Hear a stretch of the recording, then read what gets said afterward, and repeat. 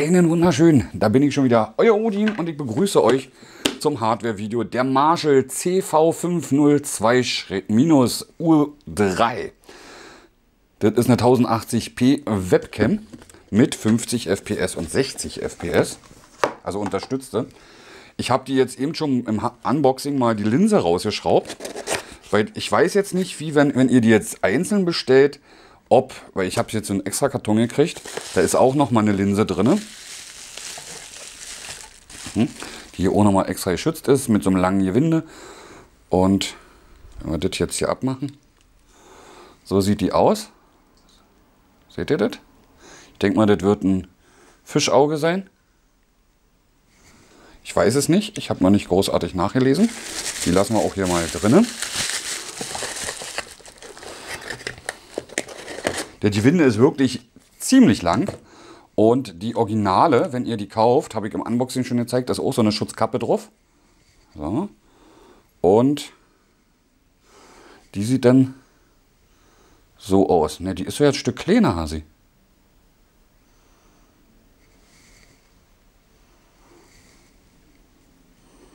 Die ist so ja ein Stück kleiner. So, und das sieht dann nämlich so aus. Da habe ich sie rausgeschraubt, dahinter ist die ganze Optik und die kommt dann einfach so oben rauf gesetzt. Oh, passt mit dem kleinen Metallring auf.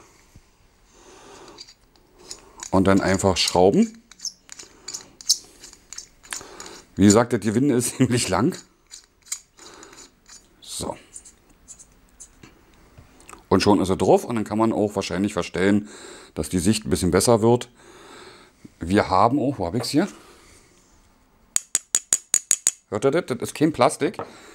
Die komplette Kamera ist aus Metall. Und die wollen wir jetzt erstmal zusammenbauen. Im Unboxing habe ich auch schon gesagt, der USB ist doppelt so dick wie ein normaler USB-Kabel. Und das ist der Anschluss für die Kamera. Ich werde den mal so machen, dass ihr das vielleicht ein bisschen besser seht. So. Und hier kennt ihr, sieht das aus wie von den alten VGA-Anschlüssen. Das wird jetzt hier einfach raufgesteckt und dann festgeschraubt, damit da auch nicht irgendwie was locker geht und auf einmal Bild weg ist oder irgendwas dergleichen.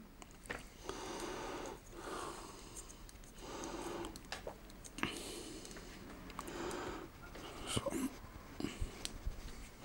Nicht zu fest, das muss ja dann auch später wieder abgehen. So.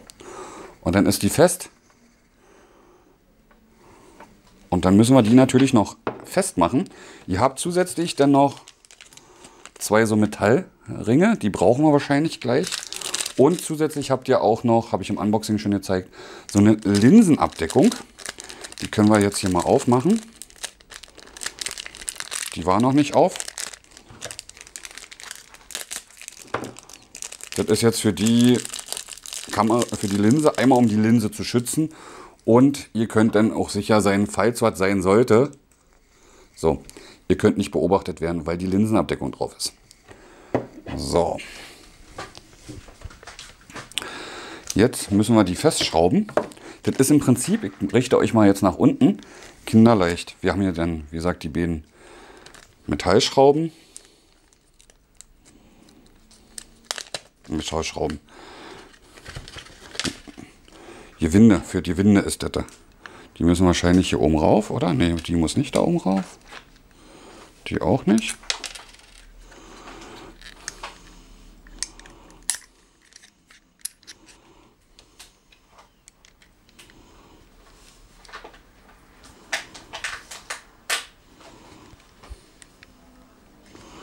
Ne, die muss nicht hier rauf. Dafür ist das Gewinde viel zu groß. Dafür, dass die hier rauf muss.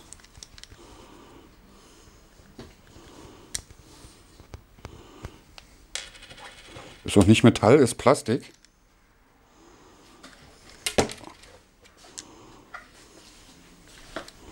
Ne, das lassen wir dann einfach mal ab.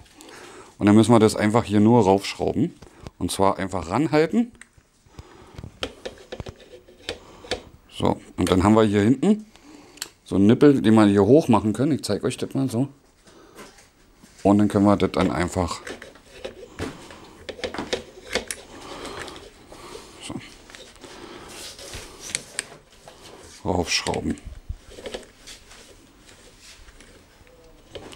So, und wenn es fest ist, nicht immer dran denken, nach fest kommt ab, dann klicken wir das Nippelding hier einfach um.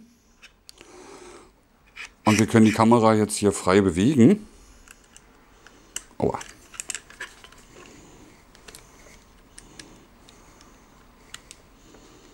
So, jetzt ist er fest. Dadurch können wir sie jetzt hier nicht mehr schieben. Und dann können wir uns hier praktisch sozusagen mit der Universalhalterung können wir sie dann am PC festmachen, entweder am Bildschirm. Oh, das ist ja cool. Am Bildschirm oder am Laptop. Und die hat dann halt hier so einen Anti-Rutschschutz, den man halt auch noch rausklappen kann. So, und dann haben wir hier die Kamera, die können wir dann halt variieren. Und so. Wir können auch, wenn wir das jetzt hier wieder ein Stück lockerer machen, so, die Kamera komplett nach vorne holen zum Beispiel. Ein bisschen gerade halten, so. Und dann ist die Kamera auch weiter vorne. Könnt ihr das sehen? Ja. Also so wie ihr gerne hättet, ob sie so ein Stück weiter vorne sein soll oder lieber ein Stück weiter hinten oder so, könnt ihr euch dann komplett aussuchen. Bei der Halterung so, haben wir denn hier auch nochmal Marshall stehen, seht ihr das? Ja, ich glaube, doch, das müsst ihr da sehen, Marshall. Und wie gesagt, wenn ihr die jetzt so am PC fertig dran habt und die jetzt noch nicht so richtig sein sollte, da das hier oben komplett fest drauf ist, könnt ihr den Metallbügel hier praktisch damit hoch runter machen. Ihr könnt die auch schwenken, indem ihr unten die Schraube wieder festmacht oder so. Ein bisschen geht es auch, wenn die Schraube fest ist. Könnt ihr so auch schwenken. Links, rechts, oben, unten. Also oben, unten halt mit dem Metallbügel. Und der ist wirklich, dass ihr das vielleicht besser seht. Wartet. Hört man das? Ja. Das ist pures Metall. Pures Metall. Wofür die mitgelieferten Dinger jetzt hier sind, das weiß ich nicht.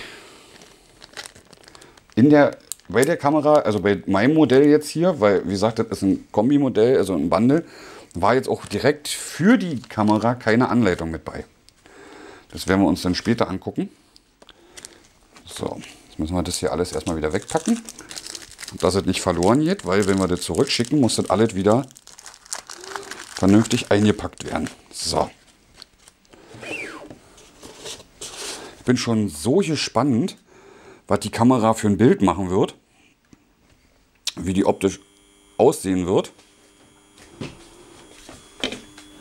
Da bin ich richtig, richtig, richtig, richtig heiß drauf. Nicht wundern, das ist gerade der Eierkocher von meiner Frau. Und wir gucken uns aber jetzt nochmal die Linse an. Weil wie gesagt, ich habe ja die Ersatzlinse.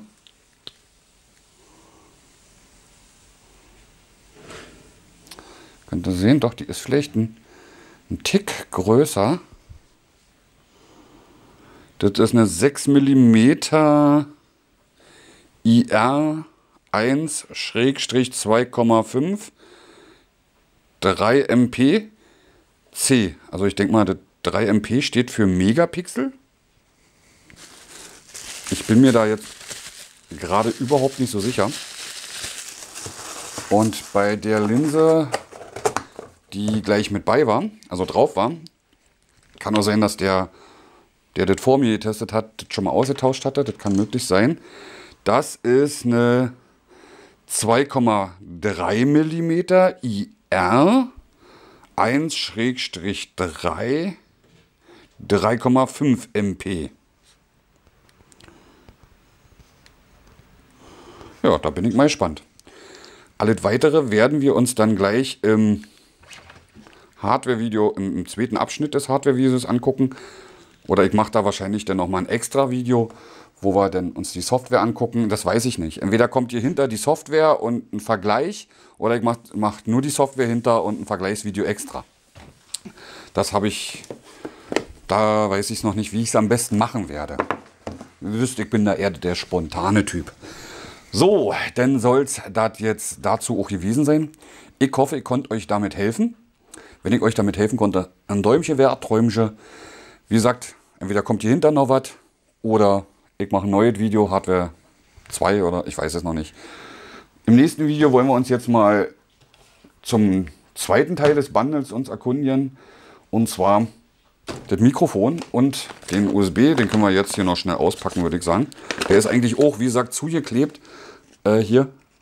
Aber da ich den, da der schon bei anderen Presseleuten war, so, hier haben wir dann einmal so ein Ding. Und hier ist der, ach, der ist ja schmal. Von Anker. Das ist das ein USB 3.0 mit viermal USB. Der ist dann halt praktisch, kann ich euch auch noch mal zeigen, so hier drinne. Bei mir war es jetzt verkehrt rum. So, nochmal schnell nochmal einpacken. So ist er denn da drinne. Achso, falsch rum. Moment. Moment, Moment, Moment. So rum. So, es guckt er euch von oben an. Bei mir war er jetzt andersrum. Mit schwarze war nach oben und wenn er dann aufmacht, dann sieht das halt so aus. Und da sind dann halt auch noch Stromkabel mit bei und so was alles. So, sehe ich gerade. Das, das ist ein englischer Stromkabel. Das werden wir uns im, ach machen wir jetzt hier einfach gleich mit, im englischen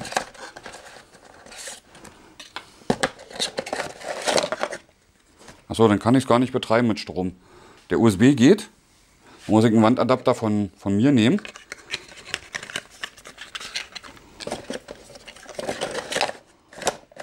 Aber den kann ich nicht gebrauchen. Das ist ein Wandadapter für England. Deswegen ist der erstmal überflüssig. So. Mal gucken, wie wir das jetzt hier vernünftig reinkriegen. So. So. Vielleicht schließe ich den auch direkt an, an meinen PC an, das weiß ich noch nicht. Ich denke mal nicht, dass wir den USB hier brauchen werden, weil mein PC ja genug USB noch hat. Aber wir werden auf jeden Fall testen. Ein guter USB-Hub ist nicht zu verachten. So, das war teils dafür, weil in der Anleitung steht, die ich mit beigekriegt habe, dass die Kamera an den USB-Hub soll und der USB-Hub, da kommt auch dann nochmal das Mikrofon ran und der USB-Hub dann logischerweise zum PC. Ja, das werden wir uns dann gleich angucken. So, nichtsdestotrotz mache ich jetzt hier einen Cut. Wir sehen uns entweder im nächsten Teil des Videos oder in einem neuen Video dazu wieder. Das weiß ich noch nicht, wie ich es mache. Bis dahin, haut rein, ahoi. Sagt euer Odin.